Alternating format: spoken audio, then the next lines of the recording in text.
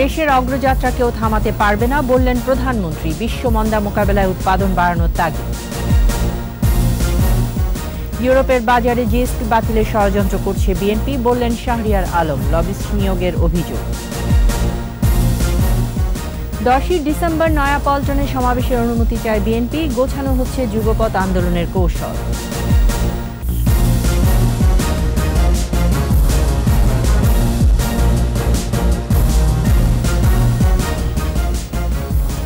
শুনছিলেন First Security Islami Bank Limited সংবাদ শিরোনাম, আমন্ত্রণ রাত নটার একুশের সংবাদে। সাথে আছি আমি তাইজিন রহমান। দর্শক, একুশে টেলিভিশনের সংবাদে একই সাথে সরাসরি দেখতে পাবেন আমাদের Facebook page W W W dot Facebook dot com slash Ekushey twenty four অনলাইনে বিশ্বমন্দার ধাক্কা সামলাতে উৎপাদন বাড়ানোর তাগিদ দিয়েছেন প্রধানমন্ত্রী শেখ হাসিনা। সরকারের ধারাবাহিকতায় দেশব্যাপী দৃশ্যমান উন্নয়ন অব্যাহত রাখারও আহ্বান জানান প্রধানমন্ত্রী। বিস্তারিত জানাচ্ছেন আকবর হোসেন সুমন। প্রাকৃতিক দুর্যোগ কিংবা অগ্নি দুর্ঘটনায় জীবনের ঝুঁকি নিয়ে মানুষের নিরাপত্তা দেয় আগুন যোদ্ধারা। ফায়ার সার্ভিস ও সিভিল ডিফেন্স এক যুগের ব্যবধানে হয়ে উঠেছে আরও আধুনিক, আরও সক্ষম। বৃদ্ধি পেয়েছে মর্যাদা। ডিজিটাল বাংলাদেশে আধুনিক ও প্রযুক্তি নির্ভর এই বাহিনী উদযাপন করছে ফায়ার সার্ভিস ও সিভিল ডিফেন্স সপ্তাহ। গণভবন থেকে মিরপুর ট্রেনিং কমপ্লেক্সে ভার্চুয়ালি যুক্ত হয়ে সপ্তাহের উদ্বোধন করেন প্রধানমন্ত্রী শেখ হাসিনা। শুভ উদ্বোধন ঘোষণা করছি। তার পক্ষে স্বরাষ্ট্রমন্ত্রী পঁয়তাল্লিশ ফায়ার ফাইটারের হাতে তুলে দেন সম্মাননা পদক। যে কোনো ঝুঁকি হ্রাসে মানুষের নিরাপত্তায় সবাইকে এগিয়ে আসার আহ্বান জানান প্রধানমন্ত্রী। সাধারণ মানুষের সচেতনতা ও সম্পৃক্ততার পরামর্শ দেন তিনি। জনসাধারণ মাঝে সচেতনতা বৃদ্ধি করার মাধ্যমে দুর্যোগ প্রতিরোধ ব্যবস্থা জোরদার করা। দুই, ফায়ার সার্ভিস ও সিভিল ডিফেন্সের কাজে জনসাধারণকে সম্পৃক্ত করার মাধ্যমে সক্ষমতা বৃদ্ধি করা। তিন, ফায়ার সার্ভিস ও সিভিল ডিফেন্সের কর্মীদের মনোবল চাঙ্গা করা। ফায়ার সপ্তাহ পালনের মূল উদ্দেশ্য পূরণ করার লক্ষ্যে এই কর্মসূচিগুলো বাস্তবায়নে সংশ্লিষ্ট সকলকে আমি আহ্বান জানাচ্ছি। দৃশ্যমান উন্নয়ন অব্যাহত রাখার আহ্বান জানান সরকার প্রধান। এখন পর্যন্ত সরকার আছি এক টানা যার ফলে বাংলাদেশের উন্নয়নগুলি ত্বরান্বিত হচ্ছে, দৃশ্যমান হচ্ছে এবং মানুষ তার সুফল ভোগ করছেন। যখন আমরা স্বাধীনতা সুবর্ণ জয়ন্তী উদযাপন করি, তখনই আমরা উন্নয়নশীল দেশের মর্যাদা পাই। এই মর্যাদা নিয়েই আমরা দু হাজার একচল্লিশ সালের বাংলাদেশকে উন্নত সমৃদ্ধ বাংলাদেশ হিসেবে গড়ে তুলব। বৈশ্বিক মন্দা মোকাবেলায় পরামর্শ দেন উৎপাদন বৃদ্ধি ও সাশ্রয়ের। প্রতিটি জায়গায় কিছু না কিছু উৎপাদন করবেন নিজেদের যেটা চাহিদা পূরণ করবার নিজেরাই চেষ্টা করবেন যেন বিশ্বের এই মন্দার ধাক্কাটা যেন আমাদের দেশে না পড়ে। তার জন্য সকলকে একযোগে কাজ করার জন্য আমি আহ্বান জানাচ্ছি। বাংলাদেশের অপ্রতিরোধ অগ্রযাত্রা কেউ থামাতে পারবে না বলে মন্তব্য করেন প্রধানমন্ত্রী। ইনশাল্লাহ বাংলাদেশের এই অপ্রতিরোধ গতিতে অগ্রযাত্রা কেউ থামাতে পারবে না। আকবর হোসেন সুমন একুশে টেলিভিশন ঢাকা। ইউরোপীয় ইউনিয়নের বাজারে জিএসপি সুবিধা বাতিলের জন্য বিএনপি ষড়যন্ত্র করছে বলে অভিযোগ তুললেন পররাষ্ট্র প্রতিমন্ত্রী শাহরিয়ার আলম। এজন্য দলটি লবিস্ট নিয়োগ করেছে বলে জানান তিনি। রাজধানীতে মেড ইন বাংলাদেশ উইকের অনুষ্ঠানে তৈরি পোশাক খাতের উন্নয়নে সরকারের নানা উদ্যোগের কথা তুলে ধরেন পররাষ্ট্র প্রতিমন্ত্রী। বিস্তারিত মেহেদি হাসানের রিপোর্টে। দু হাজার একুশ বাইশ অর্থ বছরে দেশের মোট রপ্তানি আয় ছিল বান্ন দশমিক শূন্য আট বিলিয়ন ডলার, যার একাশি দশমিক আট দুই শতাংশ, অর্থাৎ বিয়াল্লিশ দশমিক ছয় এক বিলিয়ন ডলারই আয় হয়েছে তৈরি পোশাক থেকে। আর রপ্তানি হওয়া পোশাকের মধ্যে একুশ দশমিক চার শূন্য বিলিয়ন ডলারের গন্তব্য ছিল ইউরোপীয় ইউনিয়নভুক্ত দেশগুলো। এ বাজারে শুল্কমুক্ত রপ্তানি সুবিধা ভোগ করে বাংলাদেশ। পররাষ্ট্র প্রতিমন্ত্রীর অভিযোগ, ইউরোপীয় ইউনিয়নের জিএসপি সুবিধা বাতিলের ষড়যন্ত্র করছে বিএনপি। বাংলাদেশের জিএসপি বাতিলের জন্য ম্যাডাম খালেদা জিয়া পর্যন্ত ওয়াশিংটন টাইমসে লিখেছিলেন। নিশ্চয়ই ভুলে যাননি আপনারা সাংবাদিকরা। এবং এখন যারা লবিস্ট আছেন, তারা বিভিন্ন জায়গায় যাচ্ছেন, সে খবরগুলি আমরা পাচ্ছি দূতাবাসের মাধ্যমে। এবং মিথ্যে তথ্য উপস্থাপন করে ইন্ডাস্ট্রি সিচুয়েশন লেবার ট্রিটমেন্টের কথা উল্লেখ করে বিভিন্ন দিক দিয়ে গার্মেন্টসের বিদেশি ডলার ইনকামের দিক থেকে সবচেয়ে এগিয়ে আছে এবং এই ইন্ডাস্ট্রিকে আঘাত করতে পারলে অর্থনীতি আঘাতপ্রাপ্ত হবে। তারা ভাবছেন, তাই সেই সুযোগে তারা রাজনীতির পট পরিবর্তনের নীল নকশা বাস্তবায়ন করতে পারবে। বিজিএমইএ বলছে রপ্তানিকারকরা নিজেদের কাজটা করে যাবে নীরবে। এক্ষেত্রে সরকার সহ সব পক্ষের সহযোগিতা চায় পোশাক খাতের উদ্যোক্তাদের এই সংগঠন। আমরা ইউরোপিয়ান ইউনিয়নের সাথে কথা বলছি যে তিন বছর তার মানে টোয়েন্টি টোয়েন্টি নাইনে পরে যেন আরও তিন বছর আমরা টোয়েন্টি থার্টি টু পর্যন্ত ডিউটি ফ্রি অ্যাক্সেসটা পাই। তারপরে আমরা জিএসপি প্লাস নিয়ে সেটারও আমাদের কাজ চলছে। সুতরাং আমরা একদিকে কাজ ইউনাইটেড কিংডমও তারা আমাদেরকে অ্যাসুরেন্স দিয়েছে। বুধবার পর্যন্ত চলবে মেড ইন বাংলাদেশ উইকের অন্যতম আয়োজন বাংলাদেশ অ্যাপারেল সামিট এবারের আয়োজনে বিভিন্ন ইস্যুতে প্যানেল আলোচনায় অংশ নিচ্ছেন দেশি বিদেশি আলোচকরা মেহেদি হাসান একুশে টেলিভিশন ঢাকা। সরকারের বিরুদ্ধে জাতীয় ঐক্যের মাধ্যমে গণ অভ্যুত্থান সৃষ্টি করতে চায় বিএনপি। সরকার হটানোর আন্দোলন এবং নিরপেক্ষ সরকারের অধীনে নির্বাচন দাবিতে আন্দোলন একসঙ্গে চলবে বলে জানিয়েছেন বিএনপির মহাসচিব মির্জা ফখরুল ইসলাম আলমগীর। এদিকে দশই ডিসেম্বর নয়াপল্টনে দলের কেন্দ্রীয় কার্যালয়ের সামনে সমাবেশ করার জন্য ঢাকা মেট্রোপলিটন পুলিশের কাছে চিঠি দিয়েছে বিএনপি। জসিম জুয়েলের রিপোর্ট। এবং জনগণের সুষ্ঠু নির্বাচনের দাবিতে রাজনৈতিক দলগুলোর সঙ্গে আলোচনা করছে বিএনপি। এরই অংশ হিসেবে গণতন্ত্র মঞ্চের সঙ্গে বৈঠক। বৈঠক শেষে বিএনপির মহাসচিব মির্জা ফখরুল ইসলাম আলমগীর বলেন ইতিমধ্যে দলীয় নেতাকর্মী সহ দেশের মানুষের মধ্যে আগ্রহ সৃষ্টি হয়েছে। আমরা জানি ইতিমধ্যেই বাংলাদেশের জনগণের মধ্যে একটা প্রচণ্ড রকমের একটা আগ্রহ উদ্যম উদ্যোগ সৃষ্টি হয়েছে। একটা আন্দোলনের মধ্য দিয়ে এই সরকারকে পতনের লক্ষ্যে। সেই লক্ষ্যে আমরা এগিয়ে যাব। এই বিষয়গুলোকে ত্বরান্বিত করবার জন্য আমাদের রাজনৈতিক দলগুলোর সকলের সঙ্গে আলোচনার ভিত্তিতে আমরা দ্রুত যেন কাজগুলো করা যায় তার জন্য আমরা লিয়াজো কমিটি আমরা গঠন এদিকে আগামী দশ ডিসেম্বর ঢাকায় জনসভা করার জন্য ঢাকা মহানগর পুলিশের কাছে চিঠি দিয়েছে বিএনপি। চিঠিতে নয়াপল্টনে দলের কেন্দ্রীয় কার্যালয়ের সামনে জনসভা করতে আগ্রহ প্রকাশ করে দলটি। আমাদের বক্তব্য আমরা শান্তিপূর্ণভাবে সভা সমাবেশ করছি। আমাদের লক্ষ্য উদ্দেশ্য জনগণের দাবি দেওয়া নিয়ে। আমাদের পার্টি অফিসের সামনে আমরা চেয়েছি এবং তাদের কাছে দেওয়ার পরে তারা বলছে এটা আলাপ আলোচনা করবে। অন্যান্য বিভাগীয় শহরের মতো ঢাকার সমাবেশও শান্তিপূর্ণ হবে বলে মন্তব্য করেন দলের নেতারা। সারা দেশব্যাপী যে মামলা হামলা এগুলি বন্ধ করতে হবে। জসিম জুয়েল একুশে টেলিভিশন ঢাকা। নিচ্ছি সংবাদ বিরতি বিরতির পর যা থাকবে। তুমরো সীমান্তে নিরাপত্তা জোরদার গোলাগুলির ঘটনায় তদন্ত রোহিঙ্গা ক্যাম্পে কড়া নজরদারি।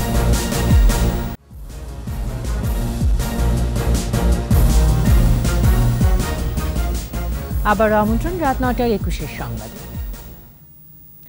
বান্দরবানের তুমরু সীমান্তে জোরদার করা হয়েছে নিরাপত্তা। মাদক কারবারিদের বিরুদ্ধে অভিযান পরিচালনার সময় ডিজিএফআই কর্মকর্তা রিজওয়ান রুশদি নিহত ও র্যাব সদস্য সোহেল বড়ুয়া আহতের ঘটনায় সেখানে থমথমে পরিস্থিতি বিরাজ করছে।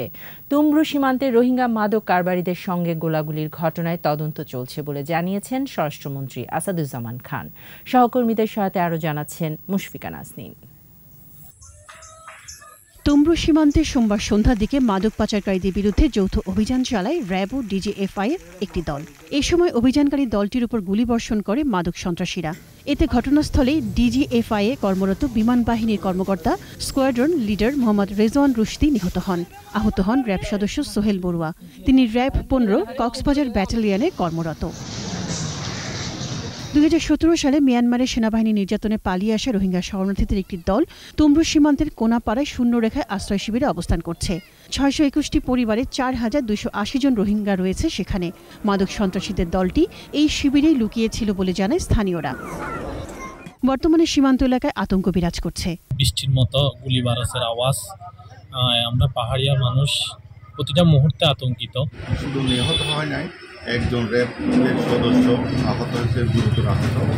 অত্যন্ত দুঃখজনক। আমরা মনে করি সীমান্তে আরও প্রশাসনের নজরদারি দেওয়া খুব দরকার। শুধু তুমরু নয় মাদক পাচার চক্রের উপস্থিতি আরও আছে অন্যান্য রোহিঙ্গা ক্যাম্পেও। বিভিন্ন সময়ে মাদক ব্যবসা ও আধিপত্য বিস্তারকে কেন্দ্র করে ঘটেছে বন্দুকযুদ্ধের ঘটনা। এতে রোহিঙ্গা নেতাসহ নিহত হয়েছেন তেইশ জন। তমরুর ঘটনার পর অন্যান্য ক্যাম্পেও বাড়ানো হয়েছে নজরদারি। এদিকে প্রতিরক্ষা গোয়েন্দা কর্মকর্তা নিহতের ঘটনা নিয়ে তদন্ত করা হচ্ছে বলে জানান স্বরাষ্ট্রমন্ত্রী আসাদুজ্জামান খান কামাল। গোয়েন্দা সংস্থার খবর ভিত্তিক আমাদের মাদক অভিযানের ইসে গিয়েছিলেন অ্যাক্সিডেন্টলি আমাদের একজন অফিসার সেখানে গুলিবদ্ধ হয়ে মারা গেছে তা আমরা কীভাবে, কেন, কারা এই অপার এই ছিল, এই মাদক ব্যবসা ছিল, সবগুলো নিয়ে আমরা কাজ করছি। আমরা সব কিছু সত্য উদ্ঘাটন করে আপনাদেরকে জানাব। এরই মধ্যে সীমান্তে নিরাপত্তা ব্যবস্থা জোরদার করা হয়েছে। বাংলাদেশ সীমান্তে টহল বাড়িয়েছে বিজিবি। মুশফিকা নাজনীন একুশে টেলিভিশন। সড়কে নিরাপত্তার জন্য বিশ্ব ব্যাংকের সাথে চার হাজার আশি কোটি টাকার আর্থিক সহায়তার বিষয়ে আলোচনা হয়েছে বলে জানিয়েছেন সড়ক পরিবহন ও সেতুমন্ত্রী ওবায়দুল কাদের। তাছাড়া সড়কে থ্রি হুইলার ও মোটরসাইকেল চলাচলের নীতিমালা তৈরি করা হচ্ছে বলেও জানান তিনি। মাহমুদ হাসানের প্রতিবেদন। দিনকে দিন বাড়ছে সড়ক দুর্ঘটনা। বছরে সড়ক দুর্ঘটনায় প্রাণহানি তেইশ হাজার। পঙ্গুত্ব বরণ করেন প্রায় আশি হাজার মানুষ। সড়কের নিরাপত্তা নিশ্চিত করতে এবং ঝুঁকি কমাতে ঋণ দিচ্ছে বিশ্বব্যাংক দুপুরে রাজধানীর বনানীর বিআরটিএ ভবনে জাতীয় সড়ক নিরাপত্তা কাউন্সিল সভায় যোগ দেন সড়ক পরিবহন ও সেতুমন্ত্রী ওবায়দুল কাদের।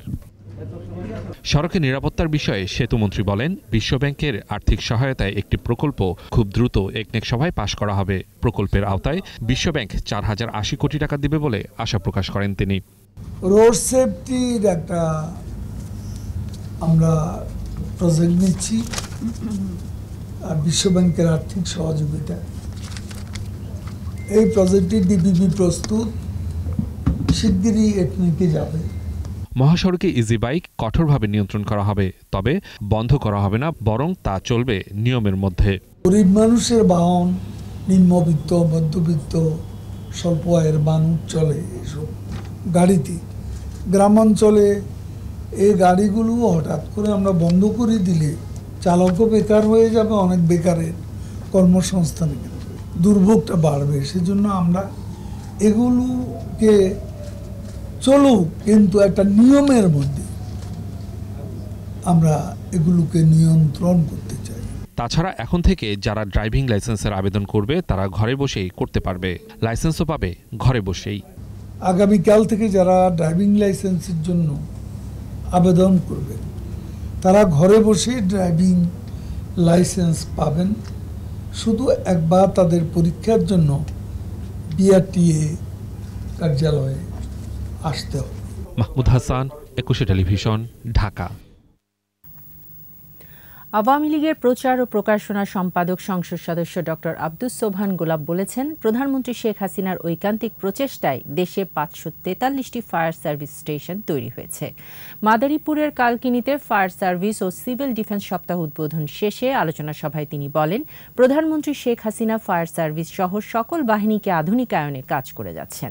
বিভিন্ন সুবিধা প্রদানের মাধ্যমে ফায়ার সার্ভিসকে সময়োপযোগী বাহিনীতে পরিণত করা হয়েছে বলেও মন্তব্য করেন আব্দুস সোবহান গোলাপ। ওনাদের সম্মান দিয়েছেন ওনাদেরকে মর্যাদা দিয়েছেন, ওনাদের বেতন বাড়িয়েছেন। সর্বক্ষেত্রে ওনাদের মর্যাদা অগ্ন উচ্চতার আসন নিয়ে গেছে। ফায়ার সার্ভিস আগে আমরা যা চিন্তা করছি, সেটা কিন্তু এখন নাই। অন্য একটা মর্যাদার আসনে আছেন, সম্মানের আসনে আছেন। বেস্ট ইকুইপমেন্ট বেস্ট সোলজার এবং বেস্ট সার্ভিস আমরা পাচ্ছি ওনাদের কাছ থেকে। মামলা জট কমাতে নতুন উদ্যোগ নিল বাংলাদেশ সুপ্রিম কোর্ট। এবার প্রযুক্তি নির্ভর ছয়টি সেবার উদ্বোধন করলেন প্রধান বিচারপতি হাসান ফয়েজ সিদ্দিকী।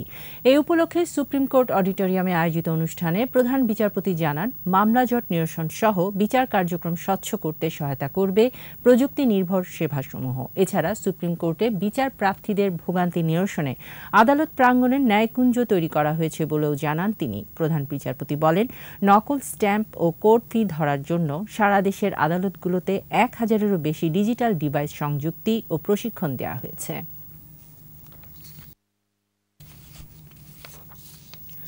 বাংলাদেশ সেনাবাহিনীতে আনুষ্ঠানিকভাবে সংযোজন যাত্রা শুরু হলো নবগঠিত চুয়াল্লিশ সোরাট মিসাইল রেজিমেন্টের। সংযুক্ত হলো একান্ন এমএলএস রেজিমেন্টের তৃতীয় ব্যাটারি।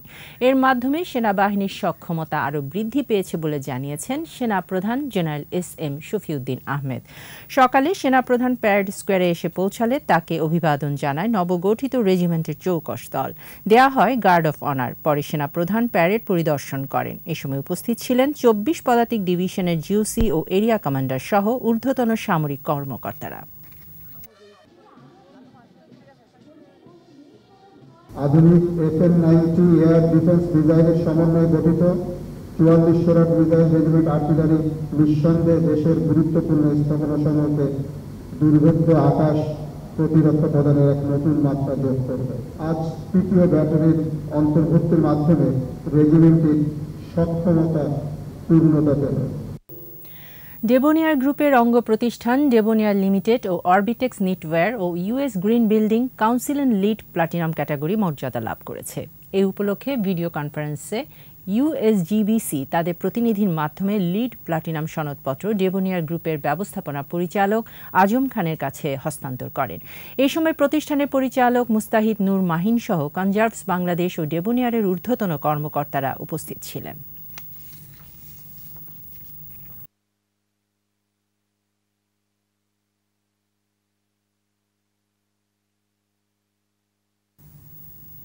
নীলফামারী, উত্তরা ইপিজেড সংলগ্ন দারোয়ানি টেক্সটাইল এলাকায় চালু হলো ভিস্তার নতুন শোরুম। উদ্বোধন করেন চিত্রনায়ক ও ভিস্তা ইলেকট্রনিক্সের পরিচালক ইলিয়াস কাঞ্চন। উপস্থিত ছিলেন আল ইয়াসা মোটরস অ্যান্ড ইলেকট্রনিক্সের প্রোপাইটার সুলতান মাহমুদ, ভিস্তার ব্যবস্থাপনা পরিচালক লোকমান হোসেন আকাশ, পরিচালক ও ঢাকা বিজনেসের সম্পাদক উদয় হাকিম, নিরাপদ সড়ক চায়ের সাংগঠনিক সম্পাদক এস এম আজাদ হোসেন ও ভিস্তার সহকারী পরিচালক হানিফুর রহমান।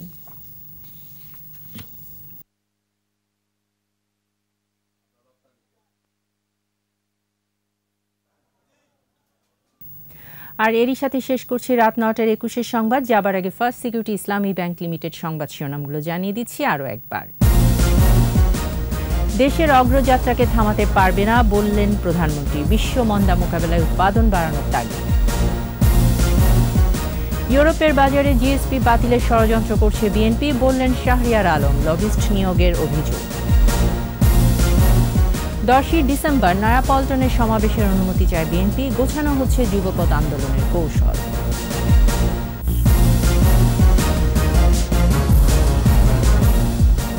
সর্বশেষ খবর জানতে ডায়াল করুন টু জিরো টু ওয়ান নম্বরে আর ভিজিট করুন একুশে ড্যাশ টিভি ডট কম এই ওয়েবসাইটে। এছাড়া ফেসবুকে লগ ইন করতে পারেন Facebook dot com slash Ekushey twenty four online. পরের সংবাদ রাত এগারোটায়, দেখা স্বাস্থ্যবিধি মেনে চলুন, সুস্থ